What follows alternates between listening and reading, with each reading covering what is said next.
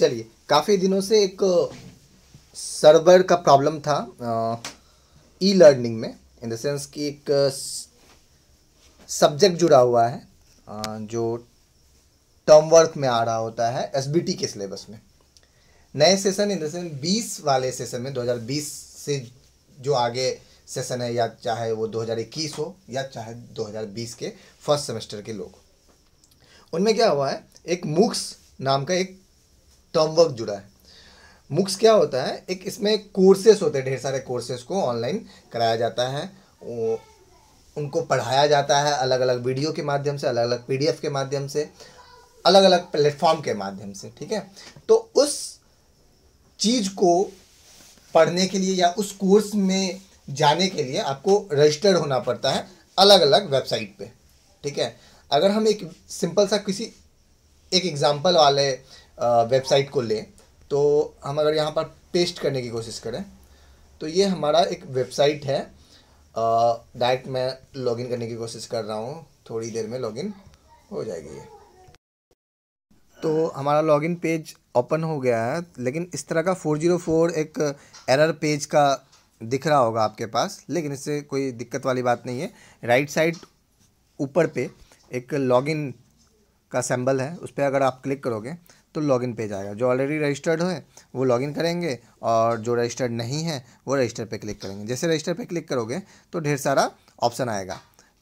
उसमें से आपका full name email ID phone number password और कंफर्म पासवर्ड का आता है। उसके बाद नेक्स्ट करोगे तो कुछ और चीज़ आ रहा होता है।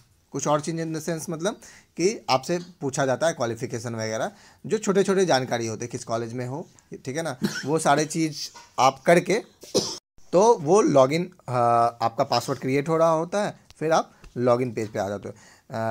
मैं ऑलरेडी लॉगिन हूँ तो मैं लॉगिन करके देख रहा हूँ।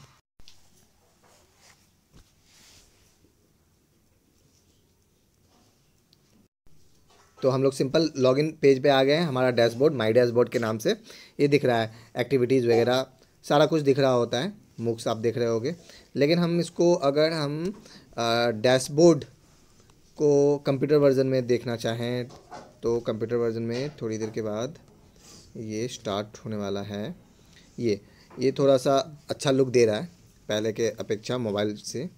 तो ये डैशबोर्ड है, आप जाके डायरेक्ट गो टू कोर्स पे जाओगे, या माई कोर्स जिसको आप बोल रहे हो, ठीक है? ढेर सारा कोर्स कोर्स है, आपको रिकमेंड करता रहेगा एक्स वाई जेड ढेर सारा चीज़ है ढेर सारा। कोई भी इस एक पर्टिकुलर कोर्स को आप सेलेक्ट करोगे ठीक है? आ, हम लोग डैशबोर्ड पे है यहाँ पे। तो आ, पहला ऑप्शन होम और दूसरा ऑप्शन डैशबोर्ड और तीसरा ऑप्शन कोर्सेस है। हम लोग कोर्सेस पे जाएँगे। तो यहाँ ढेर सारा कोर्स दिखना शुरू हो जाएगा। जो आपके लायक है या आप जिस पे आप कंफर्ट फील कर रहे हो तो उस कोर्स पे आप क्लिक कर दोगे। जो भी ठीक है ना? ढेर सारा है और भी अलग अलग हैं या और कोर्स आने वाले हैं।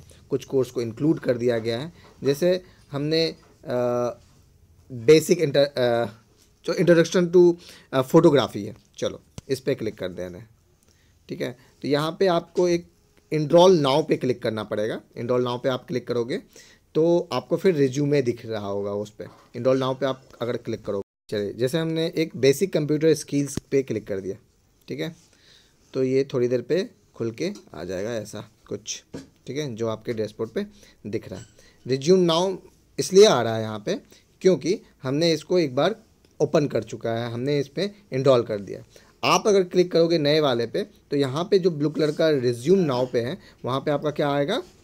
इंडॉल इंडॉल नाव लिखा हुआ रहेगा। इनरॉल नाव इनरॉल नाव पे क्लिक करोगे तो आपसे बेसिक चीज़ पूछा जाएगा, जो आप पहले डाल चुके हो ईमेल आईडी फ़ोन नंबर या आपका एड्रेस वगैरह। उस पर आप क्लिक करोगे ओके ओके करके आप इस पर इनरॉल हो जाओगे, आप कोर्स को आगे बढ़ सकोगे।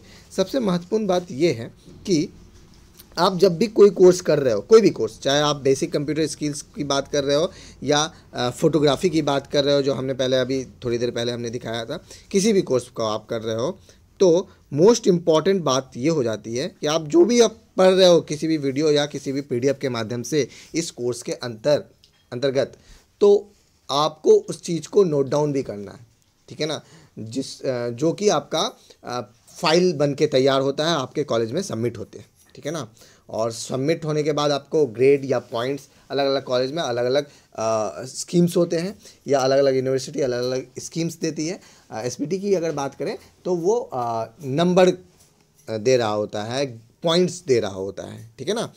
तो उस पॉइंट्स को आपको अगर गेन करना है तो कुछ चीज़ों को पे आपको फोकस करना पड़ेगा। जैसे, एक तो आपका कोर्स कंप्लीट होना पड़ेगा, है ना? जब तक कोर्स अगर कंप्लीट नहीं होगा, तब तक आपका क्या होगा कि आपका सर्टिफिकेट इशू नहीं होगा। सर्टिफिकेट इशू नहीं होगा तो फिर आप क्या होगे कि अधूरा आपका कोर्स जिसको इनकम्प्लीट भी बोल सकते हो राइट तो एक तो पहला काम कोर्स कंप्लीट करना सर्टिफिकेट इशू हो जाना आपके नाम पे, जिस कोर्स पे आप इनरोल हुए हैं।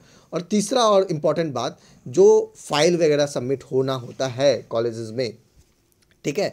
तो वो आपको लिखा हैंड रिटन नहीं होता है तो आपको लिखना पड़ता है। ठीक है ना? प्रैक्टिकल्स फाइल्स या जो भी टर्म वर्क फाइल्स तो उसको क्या, अब कैसे लिखोगे आप? जो भी आप कोर्स कर रहे हो, जो भी आप वीडियो जो भी आप लेक्चर देख रहे हो, चाहे कितने भी ड्यूरेशन का हो, दस मिनट, बीस मिनट, पचास मिनट, या जो भी जितने ड्यूरेशन का जो पढ़ा रहा होता है, वो आपको नोट डाउन करना होता है। ठीक है? तो इस तरह क्या होता है कि हर लेक्चर के बाद, हर वीडियो के बाद, हर एपिसोड के बाद आपका फ़ाइल बनकर तैयार होना शुरू हो जाता है और फ़ाइल बनते चले जाते लास्ट में जैसे आपका कोर्स कंप्लीट होता है तो आपका तीन चीज़ कंप्लीट तो कोर्स कंप्लीट हो गया सर्टिफिकेट इशू हो गया और आपका फ़ाइल भी कंप्लीट हो गया। और इतना छोटा सा काम आप आसानी से कर सकते हो अगर कंटिन्यूसली करोगे तो। ठीक है? तो आपका तीनों काम हो जाएगा। आप इस पर्टिकुलर पैटर्न को अगर आप समझ गए होगे तो। ठीक है ना? और इसमें आपका ज़्यादा टाइम कंजप्शन भी नहीं है और आपका सारा कुछ हो जाता है। इस टर्म वर्क से रिलेटेड ठीक है? Thank you